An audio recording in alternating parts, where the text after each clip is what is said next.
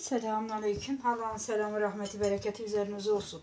Değerli YouTube takipçilerim sizlere bugün harika bir açma tarifi sizlerle paylaşıyoruz. Poğaça da yapabilirsiniz. Aynı hamurdan açma da yapabilirsiniz. Arasına kattığımız e, yağ, tereyağı ve peynir, patates sizler istediğinizi patatesi harçlayıp kaynatıp güzelce baharatlayıp soğanı baharatlayıp arasına koyabilirsiniz salçalayıp.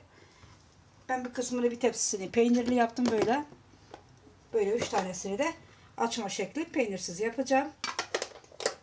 Küçük oğlum peynirli yemiyor diye Bismillahirrahmanirrahim diyoruz. Odamızda ısı, ısınmış olan yumuşaklıkta oda ısısında olan tereyağımızı hamurumuzun içine ne kattık açıklama kısmına yazacağım. Su bardağı ölçülerimiz 200 milimliktir her zaman kullandığımız ölçüler. Fırınımızı 180 dereceye ayarladık. Hamurumuzun içerisine ne kattık? Hamurumuza kattığımız malzemeler 1 su bardağı sıvı yağ, 800 gram un, 2 tane yumurta birinin sarısı üzerine sürüyoruz. 1 su bardağı su, ılık su, 1 su bardağı sıvı yağ dedik. 2 yumurta, 850 gram kadar un. Yumurtanın büyüklük küçüklüğüne göre fark edebiliyor. 750 gram da olabilir. 850 gram da olabiliyor un. Aralarına peynir, tereyağı, hamur mayası kattık. 1 tatlı kaşığı tuz, 1 tatlı kaşığı şeker ve 1 yemek kaşığı maya kattık. 20 dakika dinlendirdik. Açıklama kısmına ne kattığımızı yazacağız. Fırınımızı 180 dereceye programladık. Fırınımız 15 dakika önce programlamamız gerekiyor. Bir tepsisini ben peynirli yaptım. Ha, sıvı yağ da içerisine de bir su bardağı sıvı yağ aralarına da 25 gram kadar yaklaşık tereyağı kullandık. Bir kilo una. Üzerine yumurtamızın sarısını süreceğiz. Fırınımıza göndereceğiz. Çayımız demleninceye kadar 20-25 önceden ısıtılmış fırında 180 derece 25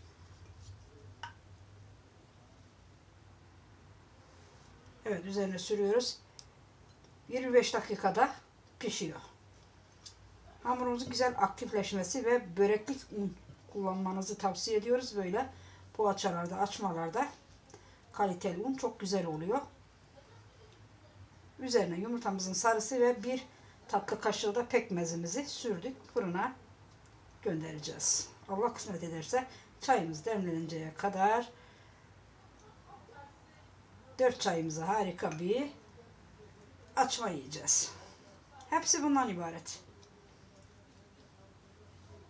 Böyle tel tel olacak. Hamur yumuşak olmalıdır. Fırın fırınlarda yapılan hamurlarımızdan aynısı olacak. Yumuşak olmalı. Acemi hanımlar, kardeşler, beyler içinse de bir tık biraz kuru yoğurabilirler. Yani fırın ekmeğinden bir tık ama yumuşaklığı fırın ekmeğinin hamuru gibi olduğu zaman çok güzel oluyor. Kesinlikle bunu da unutmayın. Yumuşak böreğin, poğaçanın, açmanın, sarıyer böreğin her zaman hamur yumuşak olduğunda bunu da kaliteli kullanırsanız detaylı videoda izlerseniz harika bir açma poğaça elde edersiniz. Evet. Böyle üç tepsi yaptık. Biri fırında pişiyor. İkinci tepsimiz. Ben bir buçuk kilo undan yaptım. Evet yaptım çocuğuma. Götürmesi için. Biliyorsunuz okullar açılacak. Böyle okuldan geldikten sonra çocuk koyar dolabına. Taze taze iki gün içerisinde tüketir. Evet. Fırınımıza 10 dakika tepsi mayası veriyoruz. Tepsi mayasını 10 dakika fırınımızı kapatıyoruz.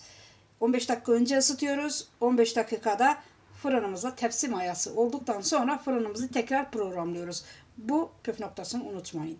Böyle puf puf olması için fırınımıza göndereceğiz. Şimdi yapacak olanlar efendim afiyet bal şifa olsun diyoruz. E, bu bir kısmı bunun kaşar peyniri bir kısmı böyle bu peynirden kullandık. Erzincan peyniri, tulum peyniri çok güzel oluyor. Şöyle sizlere paylaşayım. Bu peynir yağlı peynir. Erzincan tulum peyniri ama çok güzel böyle yaylanın çok yağlı çok güzel oluyor.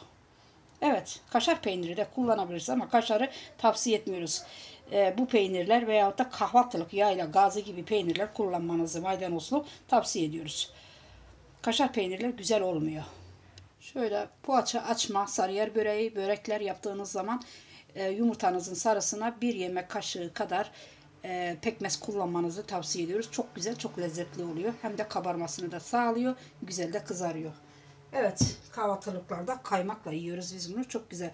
Bir kaseye kaymak koyuyoruz kenarına. Pekmez döküyoruz. Kahvaltılarda süper oluyor.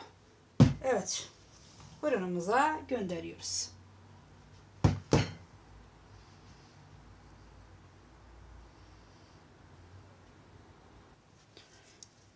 Evet, yapmış olduğumuz poğaçalarımız pişti. Servise hazır. Çayımız demlendi. Güzel, dikkatli şekilde pişirdik. Tepsi mayası verdik. Görüyorsunuz sıcak sıcak efendim. Yumuşacık, pamuk gibi.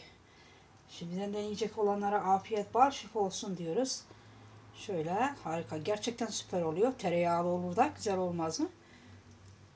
Böyle küçük küçük yaptık. Tüketilmesi daha da güzel olacaktır. Büyük büyük yapmayın. Çünkü çocuklar çok yemiyorlar. Kırılmasını kesinlikle istemiyoruz. Aldığı gibi bitsin.